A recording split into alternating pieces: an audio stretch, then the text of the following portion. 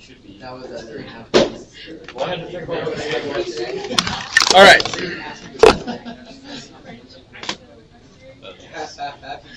I like licking mine. Have you ever had a mustache, Mr. Oja? Shh, Are you kidding me? Is that a Is yes? that a yes or no? Okay, last night I was looking at pictures of my dad's fine level. God, I'm excited.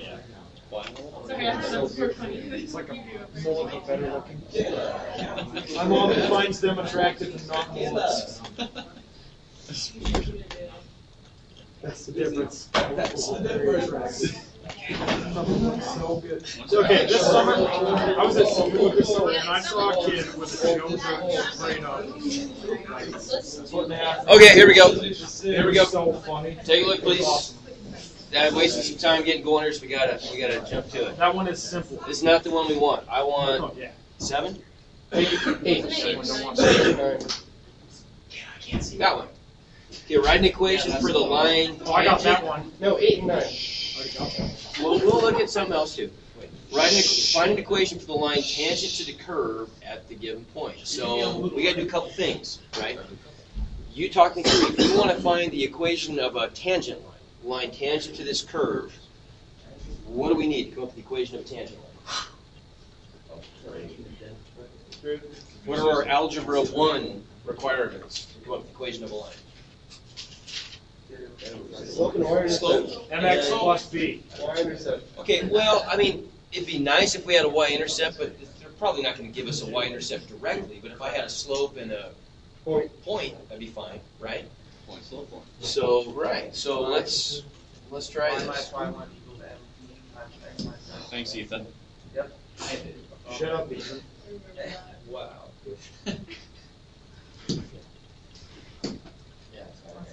That's right. All I said was thank you. Exactly.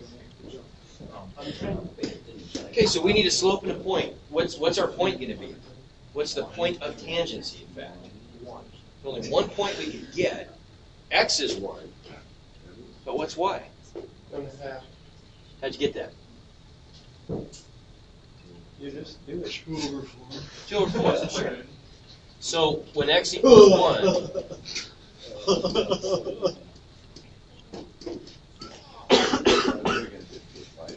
What? What are we going to do?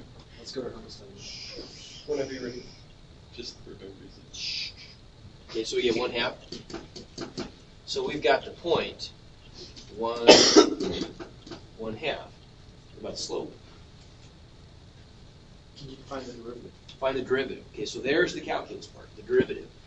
So we're gonna, to find the derivative though, what do we want to do to this first?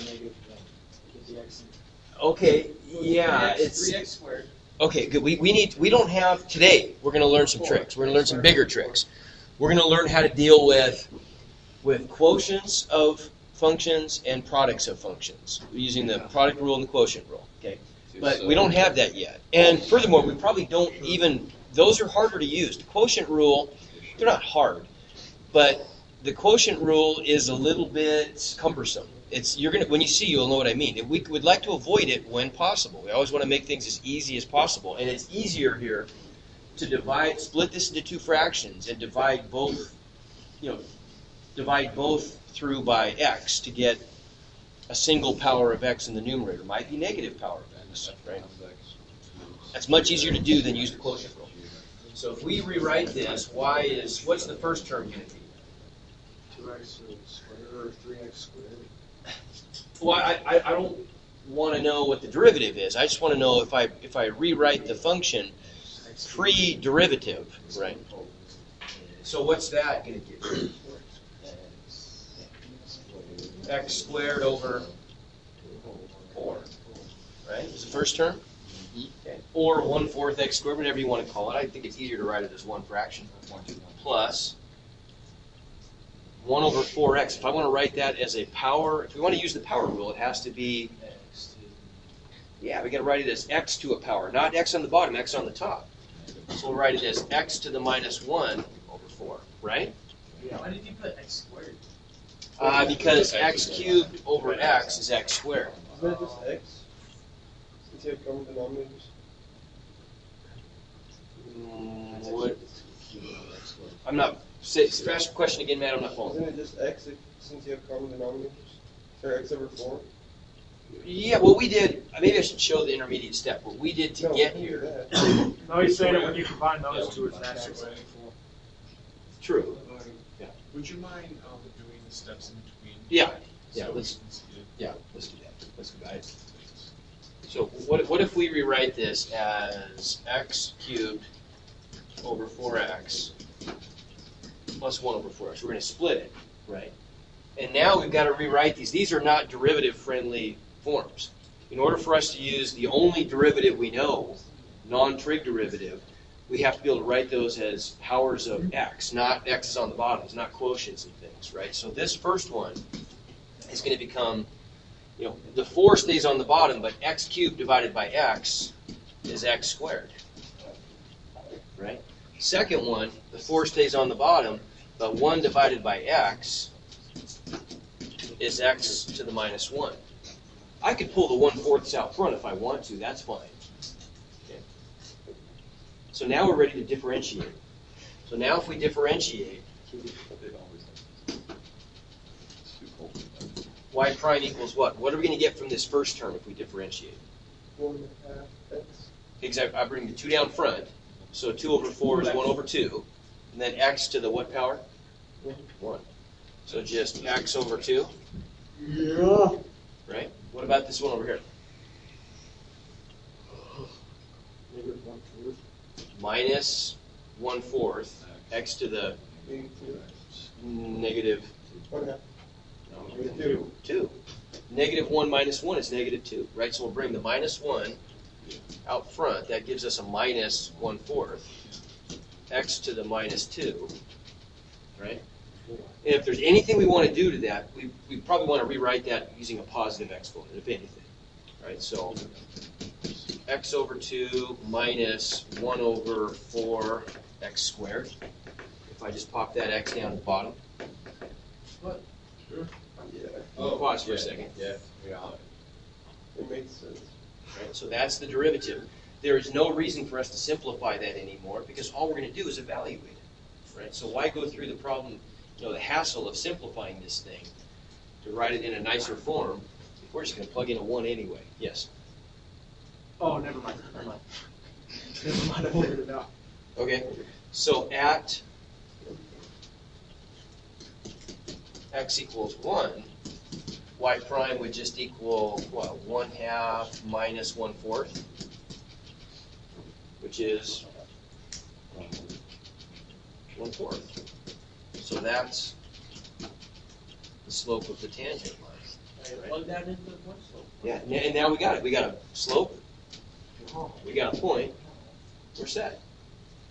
Right, so if we plug those into point slope, we just get y minus one half was our y value equals one fourth times the quantity x minus one. Right, so what do we do? Distribute. Distribute.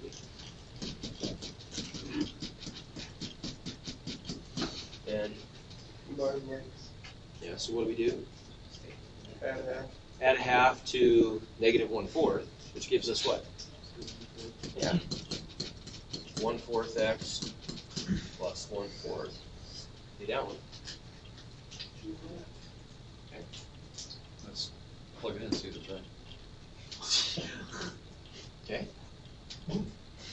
Challenge accepted.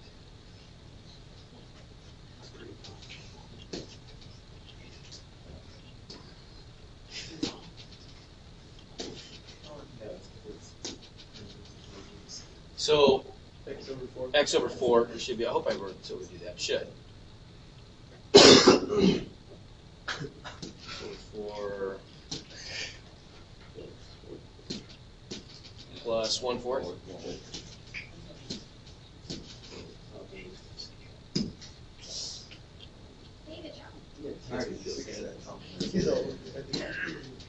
Okay, so then these other ones I would probably leave for you. I thought that was when you. That's you can do that. That's simple. That's a joke. Okay. Oh, you know what? That one you kind of can't do. I didn't mean to assign that one. Oh, I did that one. Completely understood it too. Mm-hmm. That one, you, we, well, you'll know how to do it after today, but I really didn't mean to assign that one, so. So, no, you don't know how to do it, we're uh, until Yeah. What is it? How do I- yeah, it's- So what do I do, just get out of there? All right, so what I want to do now, I want to look at, okay, let's look at some tricks. No, no, no, no. Tricks. Got to give you guys some tricks going into the break. All the tricks we're gonna need, and then for the whole year.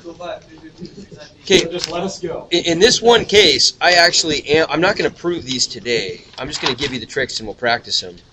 And then I'll show you, you know, one other, some other day when we get back, we'll talk about how we could improve these. Because they're, they're cool proofs. They're proofs that you need to see. It's not true. Proofs, wait, proofs. Yeah. I don't like proofs. Oh, yeah, you do. Proofs are not I really don't. Okay, the product rule. Basically, most important is Shut up. Wait, what's the longest proof you've ever written? I don't think I'll ever proofs. I don't know what they are. I, I can't remember. Their uh, pro- longest one? It's not even long, it's just. How many pages? Yeah, math that you do. Shh, I don't know. I mean, Mathematicians do. More than 20? So. Oh, yeah. They, they do that one. I actually really like proofs a lot. And I admire mathematicians and Dr. Physicists. He's still a mathematician at the same time. Okay, the product rule. Here's the product rule. If we've got a, uh, the derivative of a product of functions, the derivative of the product of f of x and g of x, let's say. Here's how you do the you, you do the calculus. This is just equal to, and in no particular order. It doesn't matter for the product rule. You do the first times the derivative of the second. G of x plus Oh, I saw this yesterday. prime of x. There you go. Yeah, because this is on that last one. Yeah, that's what I was doing, the whole problem before, and then you were like, why are you doing less work? Like so. Yeah, yeah, that's where I saw it, when you did it, Now, now, an easy way to show this, I want to show you a little shorthand for this that we'll come back to later. This is this really helps, I think. When you can write these things, that looks cumbersome to write this in oh, terms of of all these, you know, dx's, and you write it with these this these forms, functional form with the, the the quotient form of the derivative, the derivative of all that stuff with respect to x. Now, watch this. We can do this easier. If we let, we're going to make a couple little substitutions here. If we let u equal f of x, so we're going to represent the function f of x as a single variable u. Okay? If we let v equal g of x, then look what we can do. We could say the derivative with respect to x of u times v just equals u v prime plus, I like to write it the other way, plus v u prime. What is this It looks like. Same thing, but isn't that a nice more, that's a much more compact way to do it. Yeah. There's another way you could show that. Less work done. And I want you to just, yeah, it's much easier to write, it's easier to keep track of, and you're gonna really like it when, when we do the quotient rule. Using this format for the quotient rule is way better, way easier to remember. Uh, one other, I, you know, one other way you could show this that's kind of cool if we say, uh, I gotta have the colors in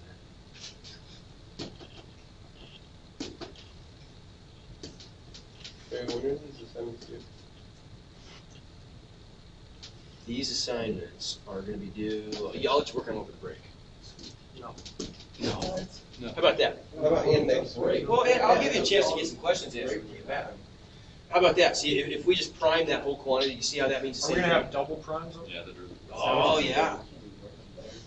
We're gonna have, we're gonna have double primes and triple primes and all kinds of stuff. So what'd you say the, the triple prime mean, means? Triple integral. I mean, a triple derivative. Derivative Third derivative. no, no, I understand that, but what is that like? Uh, derivative is the slope, derivative of the derivative is the. Is the slope of the acceleration, slope. Is the And the acceleration. derivative, third derivative would just be the slope of the slope of the slope. What would that be? What What is that, goes is there a velocity, value acceleration? for slope of the slope though? Like, is that a thing?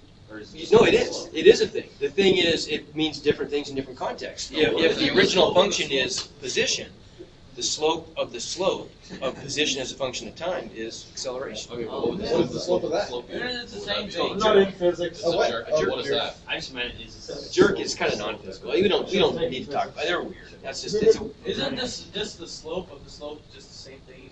Acceleration. I think it's the same thing. If you're given that. well. It's we, we'll we'll get to that. I'm not gonna do that Actually, today. yeah, It's we'll The get to that. slope of this line should be. Okay, slope. Yeah. So try one of these. Try one of these. I want you to let's say that I don't think I it's- know, no, I like that. I don't think I you're agree. supposed to use it in context of a line. I don't know how the slope Very is. Well, I mean, like, the slope of that, It's just getting the smaller. slope of that would be. that. okay. Try that, please. Please. What, what was the UV prime thing for? It means Well, that just so that's like U. That's like V. Oh. Right. I- But you what see was that the that's- prime for up there on that? Oh, that was just another way. That's just kind of a slick way Equal of showing prime that. prime? That- if if I put the prime after this whole thing, it means that product, the, the derivative of that product. Equals, Same stuff. no, why'd you put the equal sign to nothing? Well, because that, that just means my traj- same stuff as Oh, above. I get it. Is it just two extra cosines? Okay, so what about this?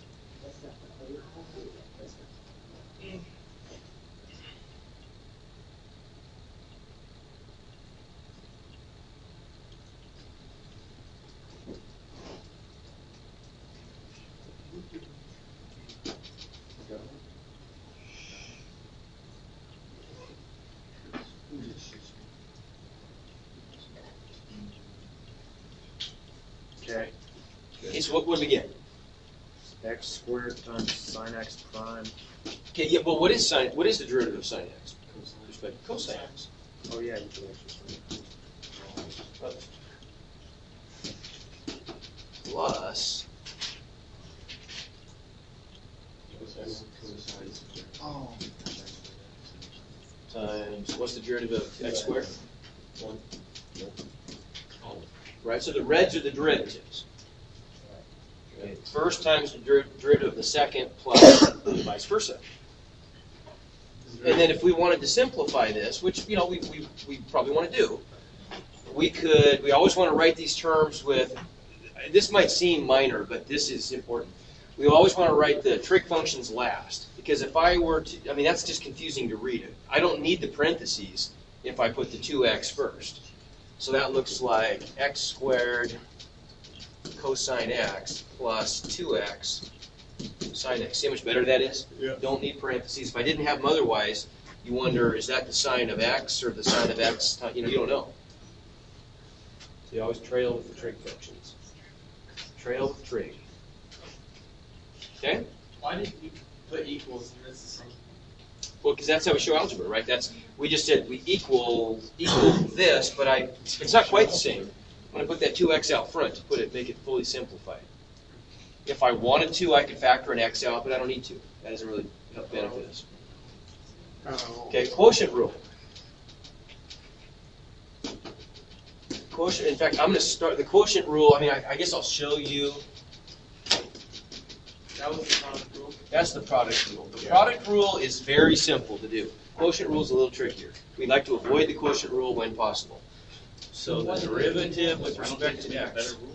Yeah, why would we have it then if we don't want to use it? Well, because sometimes it's the best way to do it. But we'll look at some examples where it's not. That's what. That's kind of where I want to end up today. So the derivative of the quotient of f of x and g of x is.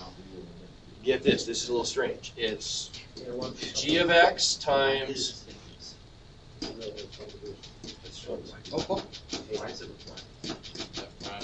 f prime of x, and this is big, minus G prime of X. Holy crap, that Divided by G prime of X squared. Yep. Oops, but not by g prime. G of X. Just g of x. No, I can't leave it red. That just offends my sensibilities. Why black, and that matches the G of X every time. Okay. Now I'm confused. So that's that's the quotient rule. It's much easier to see. Let's trade these g's and f, g's of x and f of x's and all those for using these. It's much easier to see. So instead, let's write it this way. So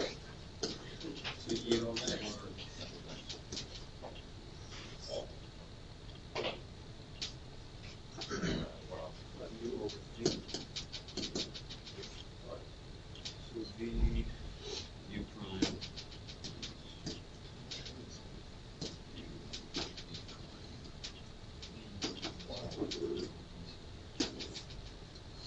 U for D. There it is. Okay. Now remember what prime means. Here's how you can remember this. Prime means the derivative, right? So what this really is, this is v times du dx minus u times dv dx. Same thing as v prime over v squared. Now, why isn't the square and the minus sign the same color? Uh, because that minus sign is so important not to forget that I, because it's, see now look, this is different, no, it really is a big deal.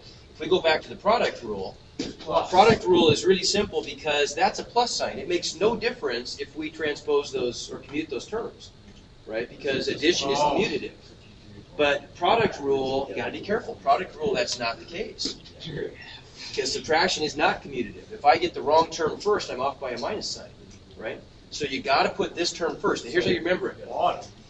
V u prime is the same thing as saying v du dx. So that sounds like video. So if you're saying the word video, you know you're doing it right. If you're saying u dv, that doesn't sound like anything. But if you start off by saying vd, that's how I always remember it. And you might not like that, but that's how I always remember it.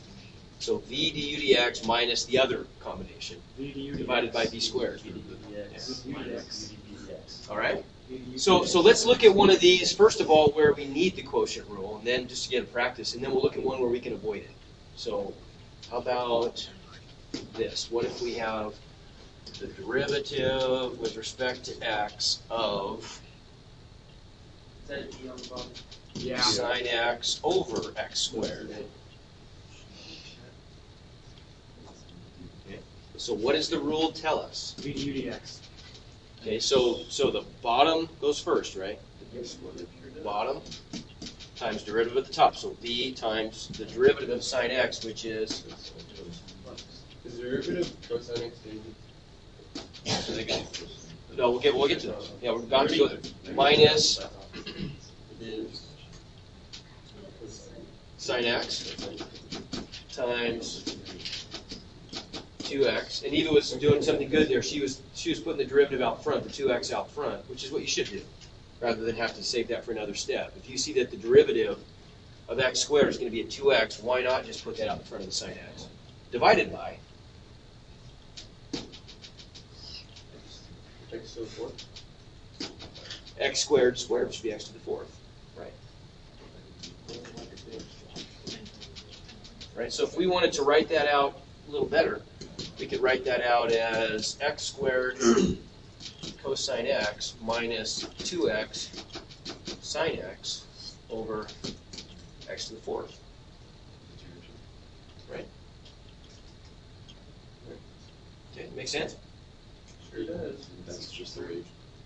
Is that the whole, that's the, that's what it'd be? That's it. That's your answer.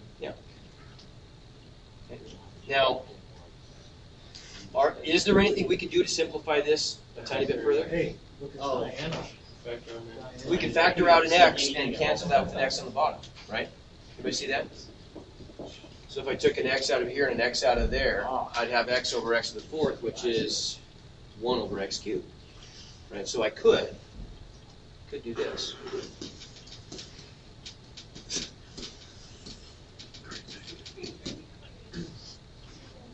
Whoa. hold But-.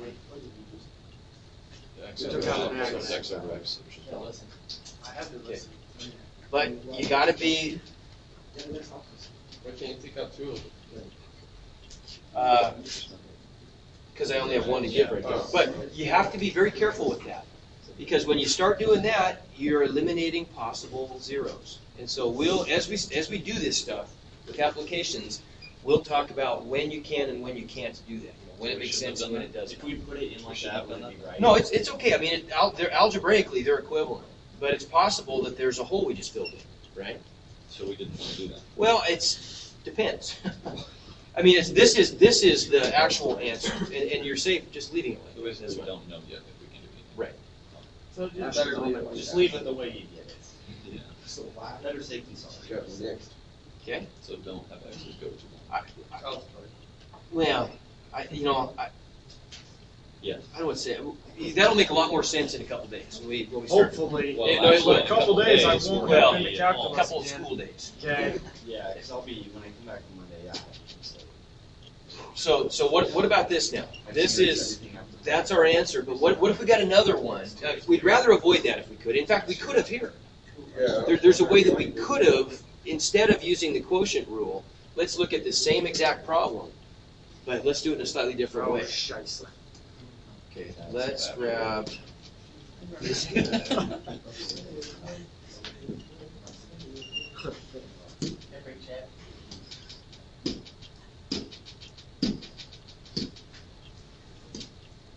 Okay, how could we rewrite that? The function or the, the argument of the derivative, the, the function that we're differentiating, is there a way we could write that to look like a product instead of a quotient? Two X sine X. Sine x over x squared plus. No. Having x squared on the bottom, right, is the same as what? X to the negative. X multiplying by x to the negative two. So I could, if I wanted to, I could write this as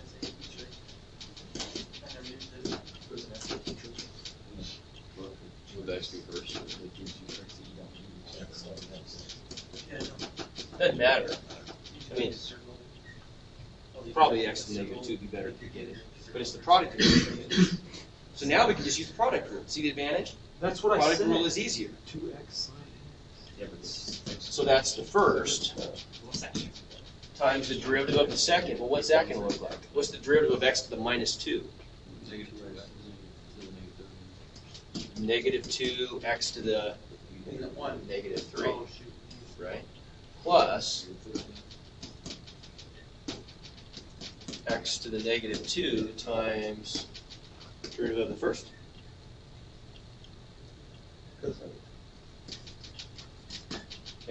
That's a much easier derivative, granted.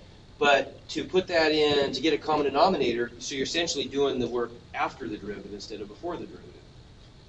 Right? You, does that make sense? You're, we did a simple derivative, but now we've got to do some simplification of the answer. So how would we maybe simplify this? Okay, yeah, the negative exponents I could write as positive exponents. So that looks like uh, negative 2 sine x over x cubed plus cosine x over x squared. And what's the last step I would need if I wanted a common denominator? Right one by x. Yeah, I got to multiply by x over x because I need an x cubed. That doesn't do anything. So I could multiply this, I could make it look like that. Wait, wouldn't you be missing a zero if you did that? though? Yeah, but that Yeah. doesn't change anything. Oh, it does? Yeah, see, we, So we don't wanna do that. Well, no, it's I'm not it's doing it. it's it's okay, but now look at the answer we got. That's algebraically equivalent to the one we got over here. Oh, here, I got it right here. I, I feel like I made too much of a de- big deal about that. I I, I You really did. pushed the panic button on something I didn't mean to push the panic button. Going out, the computer's taking over. Let me let me just do this. There's a. I'll show you an isolated example of where that can be an issue, So, like uh, way in the future. Yeah, I I, I shouldn't have. So feel like I- literally, Let me now retract we that. can do that if we want. It doesn't matter. But you've been We'll getting figure it Yes, now. do it. yes, and You much later on, we might look at an example where, where that would have been a problem, but we would also know to anticipate it at that time. So, yeah, so I, I apologize, I shouldn't, I, that was reactionary on my part, sorry. But do we see we get the same answer then? There's our answer, and, whoops. Same thing, right? I- Yeah. I had, you know, this term first, but big deal. Okay. All right, so now, now we want to, we want to move on, and we've only got two trig derivatives. We want the rest. So let's try this. What if we have the derivative with respect to x of tangent x? One of us. What are we going to do? I could write it as 1 over secant, but that doesn't help us because we don't know the derivative of secant yet. Could I write that, though, in terms of things that I do know how to deal Yeah, with? sine over. Ah, sine over cosine, sure. So if I write that as the derivative with respect to x of sine x over cosine x, now that's a quotient, but we know how to deal with quotients. So what's that going to look like? Now, This is really simple. It's not going to be a big deal. Going to get bottom, right? That's v and that's u. So I got v. it, you have it memorized, but we don't. Tanner does. Bottom times the derivative of the top. What's the derivative of sine x? Cosine x. Minus top Kind of doing it above. times derivative of the bottom. Now, what's the derivative of Negative cosine? goes for sine x. Ah, Yeah. all divided Because of by you. Uh, denominator squared. denominator squared.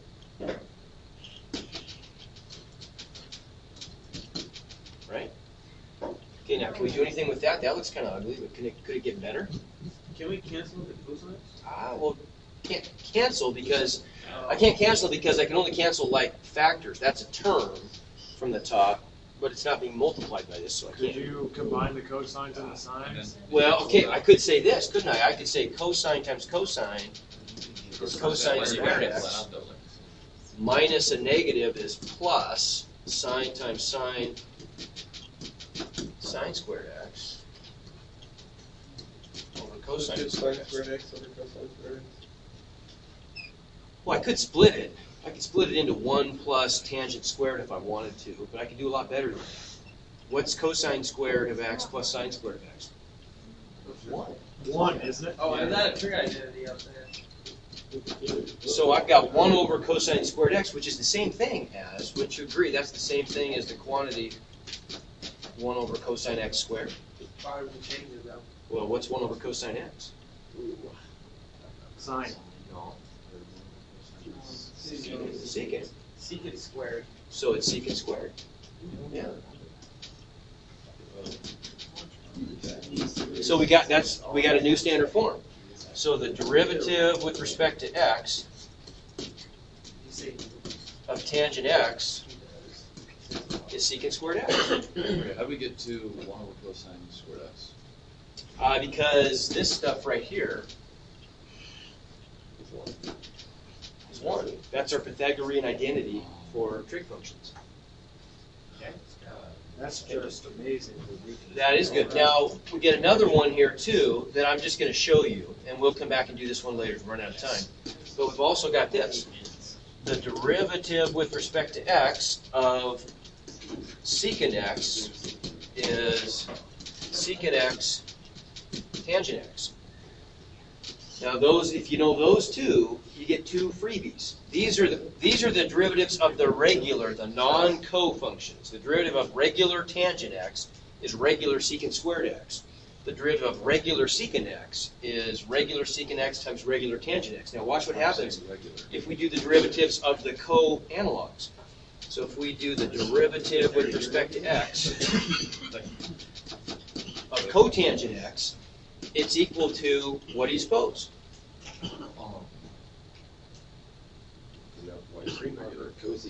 Uh, it's equal to cosecant squared times negative 1. You get a negative sign introduced, and then you get. Go away.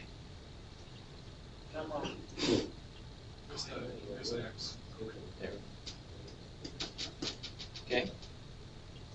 Right? So if you know that, you know that. The co's follow the exact same pattern with a negative sign. Putting green boxes in those. So the derivative with respect to x of cosecant x equals what? Negative. What? But the coversions. Cosecant x, cotangent x. So how about that? We got a bunch of forms now. We've got product rule, quotient rule, power rule, and, and the derivatives of all six trig functions. I I am going to want you to memorize these. This, you got, these are working rules that you need to have at your fingertips, mentally. You got to be ready. You got to be ready to roll with all these. Because you don't, what you don't want to do in calculus, you, you don't want to be, you don't have to pause and break your train of thought to think about what these simple derivatives are. It just needs to be like multiplication facts. It just needs to be just immediate. You know what we're going to do next? Nine times nine is eighty-one. Right. What we're going to do next we're going to go to, we're going to look at, at the chain rule, which is where we start taking derivatives of functions of functions, compositions of functions. And then that gets a little convoluted, and so you need to know these things really, really well to, to make that an easier process. Okay? All right. Let's try, well, that's probably about good.